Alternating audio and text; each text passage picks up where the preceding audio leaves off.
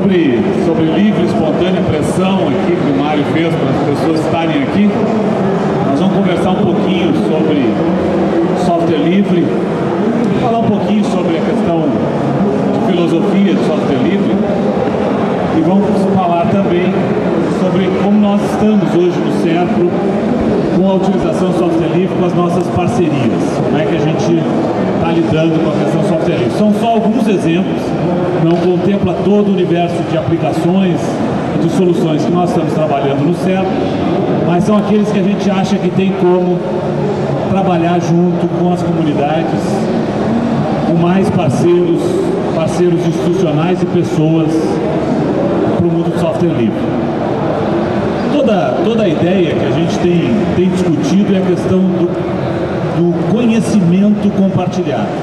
Nós temos insistido numa, num debate que vai além da questão tecnológica em si.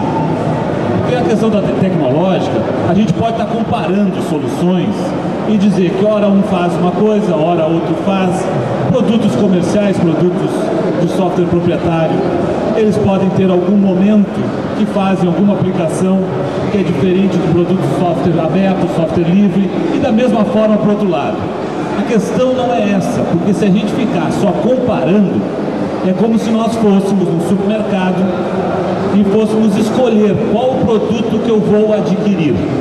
E aí, é claro, nós lidamos muito com a lógica do software livre, dizendo não, mas o software livre é gratuito.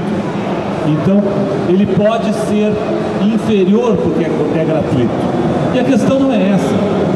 O software livre, ele tem uma, uma ideia, tem uma filosofia que é diferente do software proprietário. E, portanto, nós não devemos ficar só comparando situações já concretizadas de soluções de software. O software proprietário é aquele que eu vou depender de uma indústria para o seu processo evolutivo. Então, evidentemente que nesse caso, eu tenho que saber se o que eu vou investir, se o que eu vou gastar, uh, está compensado com as soluções que ele vai me entregar. No software livre, eu não tenho que pensar se o que está feito ele já é compensador.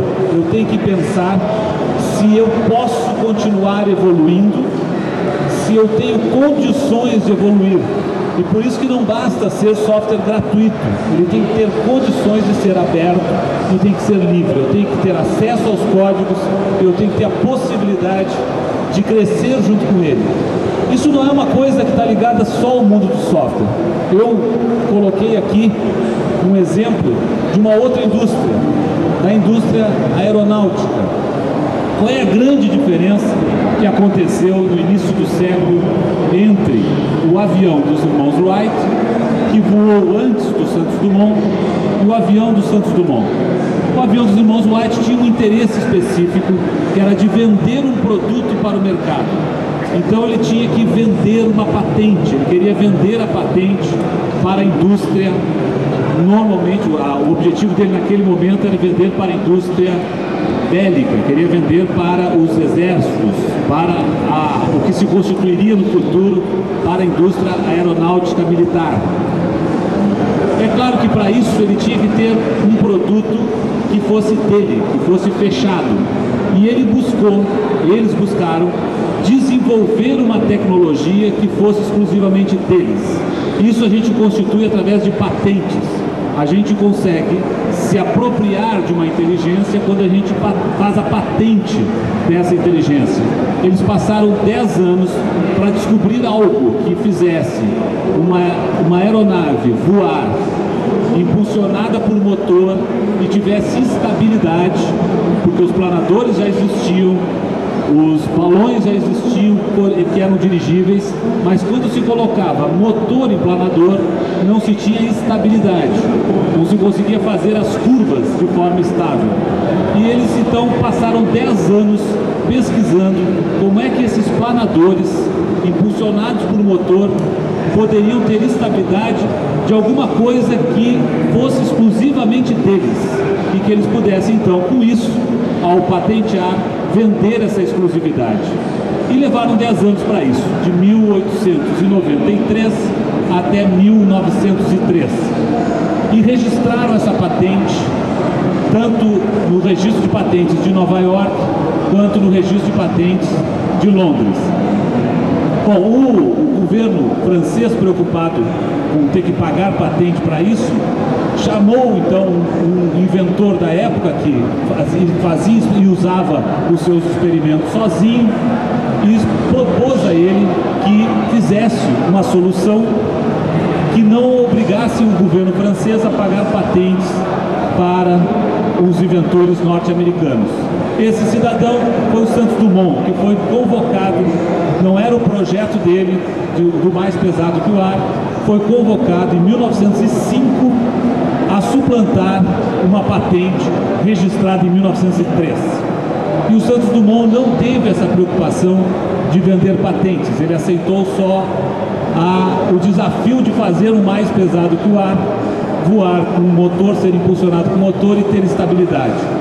Totalmente despreocupado com isso, juntou os conhecimentos que existiam na época, compartilhou o conhecimento.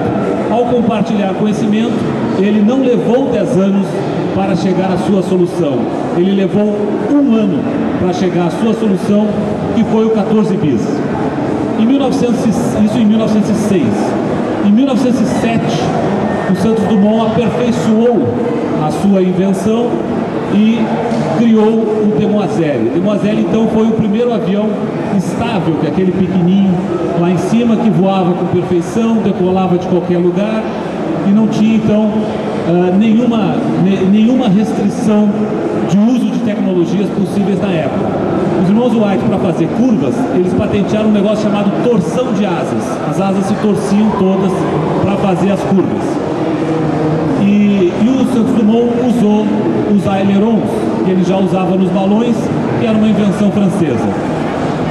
Em 1907, ele criou o 14 bis, o, o Demoiselle. Em 1909, o governo francês chamou então ele para dizer, bom, agora vamos registrar essa patente em nome do governo francês. E o Santos Dumont se deu conta que ele não tinha se preocupado com patentes, não era o tema dele, e de mais a mais ele era um brasileiro, porque queria fazer esse registro de patentes na França. E fez a divulgação em todas as revistas técnicas da época, especialmente a revista de Engenharia Aeronáutica de Paris. Ele publicou as especificações do Demoiselle e escreveu embaixo é possível copiar, possível alterar, mas ninguém pode patentear em seu nome. Portanto, ele fez a primeira licença GPL da indústria aeronáutica, foi construída pelo Santos Dumont. E isso demonstra o quanto é potente quando a gente compartilha conhecimento. Então não é uma coisa especificamente da nossa, da nossa indústria. Ele publicou, publicou todas as especificações que quiser construir uma aeronave, como o Demoiselle pode pegar todas as especificações e, e construir. Ele publicou isso em 1909. Uh, ah, vários outros exemplos de